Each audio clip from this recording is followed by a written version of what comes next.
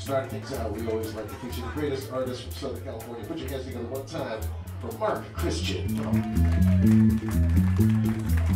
Thank you, man. Uh, thanks everybody for coming out on, on a holiday night, the last night of the holidays.